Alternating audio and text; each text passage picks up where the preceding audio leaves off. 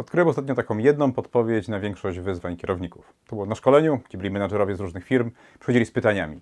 Wiesz co, mam szefa, mam go od jakiegoś pomysłu przekonać, czy, czy masz podpowiedź dla mnie? Mhm. Mamy takiego pracownika toksycznego w zespole. Co z tym zrobić? Jakaś podpowiedź? Mhm. Wiesz co, nasi handlowcy sprzedają co chcą, a nie to, co jest dobre dla firmy. Jakaś podpowiedź? Tak, zawsze miałem tą samą podpowiedź. Czy nam to się opłaca? Idziesz z pomysłem do szefa, jak go przekonać? Zastanów się, co nam w Twoim pomyśle się opłaca, czy nam to się opłaca. Jeżeli trzymasz w zespole pracownika, który jest toksyczny, po raz kolejny storpedował plan, zniszczył motywację w zespole, nie powiodło się przedsięwzięcie, czy nam się to opłaca?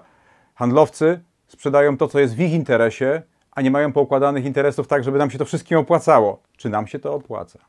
Ja widzę, że wielu z nas ma ten problem z myśleniem w biznesie, czy nam się to opłaca.